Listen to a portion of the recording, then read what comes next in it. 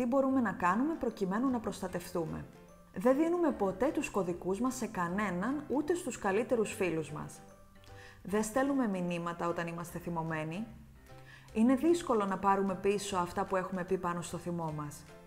Όταν κάτι δεν μας φαίνεται σωστό σε έναν ιστότοπο ή σε μια συνομιλία, τότε κατά πάσα πιθανότητα δεν είναι.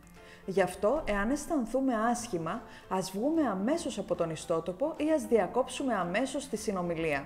Ας συνειδητοποιήσουμε ότι η διαδικτυακή επικοινωνία δεν είναι πάντα ιδιωτική, καθώς οι άλλοι μπορούν να αντιγράψουν, να εκτυπώσουν και να μοιραστούν με άλλους τα λεγόμενά μας ή τις φωτογραφίες μας.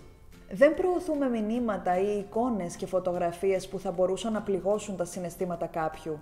Έχουμε στο μυαλό μας ότι αν κάποιος μας στείλει ένα μήνυμα και το προωθήσουμε ή γελάσουμε με αυτό, στην ουσία γινόμαστε και εμείς μέρος του εκφοβισμού.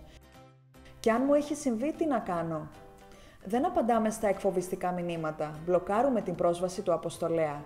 Κρατάμε και αποθηκεύουμε τα μηνύματα ή τις συνομιλίες. Αυτό θα μας είναι χρήσιμο εάν χρειαστεί ή εάν θελήσουμε να καταγγείλουμε το περιστατικό. Αναφέρουμε το πρόβλημα στους γονείς μας ή σε άλλους ενήλικες που εμπιστευόμαστε ή στην πλατφόρμα στην οποία λαμβάνει χώρα ο εκφοβισμός.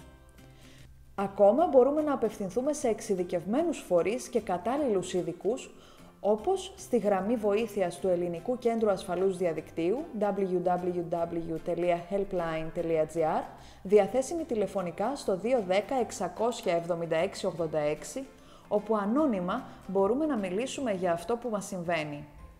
Στη γραμμή καταγγελιών SafeLine www.safeline.gr όπου επίσης ανώνυμα μπορούμε να καταγγείλουμε παράνομο και επιβλαβές περιεχόμενο στο διαδίκτυο ή στη Διεύθυνση Δίωξης Ηλεκτρονικού Εγκλήματος στο 11188.